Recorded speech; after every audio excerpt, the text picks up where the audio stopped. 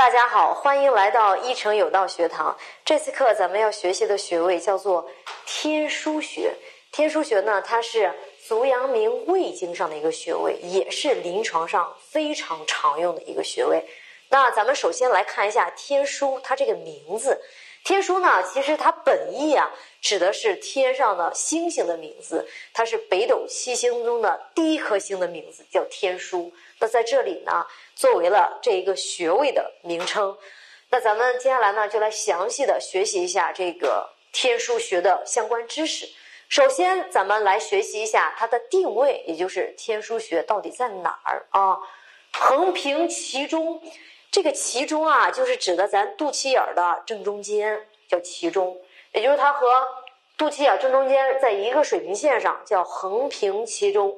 前正中线旁开两寸，前正中线呢，一般就是在咱人体的前部的正中间，啊，正中间做的一条垂线，一般是在胸骨的正中间啊，旁开两寸。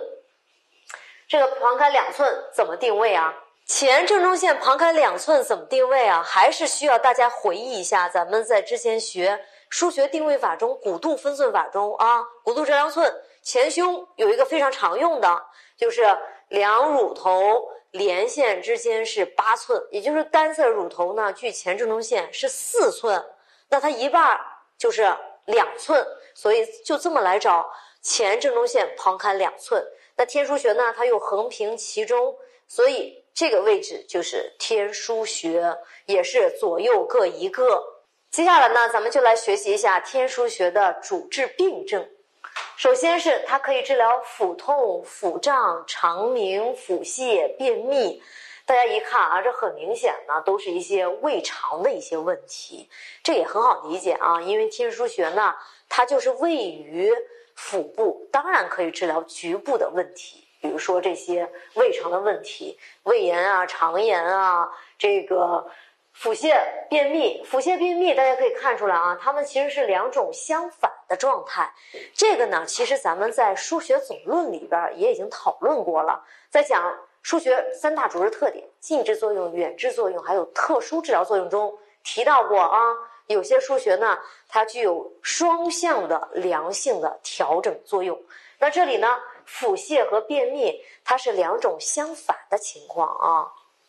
但是呢，咱们都可以通过刺激天枢穴来治疗。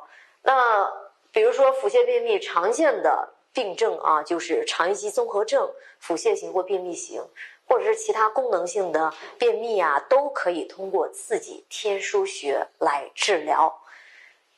这个接下来呢是天枢穴的第二大类主治病症：月经不调、痛经，就是妇科的一些病。也可以通过它来治疗，其实也是主要发挥它的一个禁治作用，因为它离女性的生殖系统、子宫、卵巢呀位置都还是比较接近的，所以呢可以治疗妇科病症。尤其呢，现在也有一些医家呢，通过刺激天枢穴呢来调整子宫、卵巢的功能，比如说来治疗卵巢早衰啊、卵巢功能不全这一类病症，也有了一个比较好的疗效。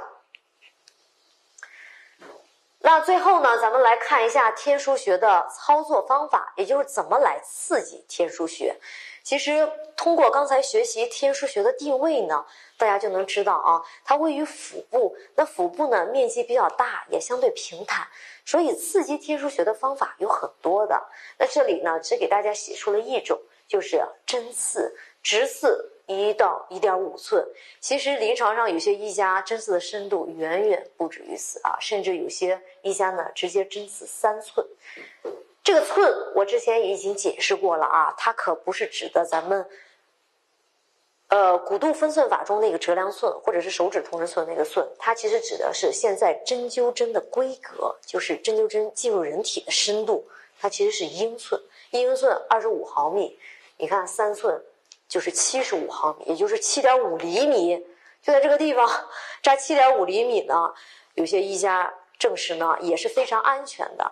在中医中也有一句话啊，叫“腹深如井”，就腹部深如井，背薄如饼。也就是说，腹部呢相对来说针刺深度可以稍微深一些，而且是相对安全的啊，这个也确实现在被证实了。那刚才说深刺三寸呢，经常可以用来治疗这种便秘、功能性的便秘啊，促进肠蠕动，来促进排便，促进排气，效果呢都是不错的。那这个天枢穴呢，除了这种针刺的刺激方法之外，也可以通过按摩。按压或按揉这些推拿的手法，另外呢，就可以采用拔罐儿啊，拔罐或者是艾灸的方法。所以说，刺激天枢穴的这种方法还是非常多的啊。像治疗这些病症的时候，都可以采用针刺呀、艾灸呀、拔罐啊、按压推拿这些方法来治疗。那天枢穴呢，是临床上非常常用的一个穴位，尤其治疗胃肠系统的病症。或者是妇科病症上，那今天呢，咱们也是从定位、主治，然后操作上来给大家介绍了一下天枢穴。那今天这节课到这里就结束了，谢谢大家观看，咱们下次课再见。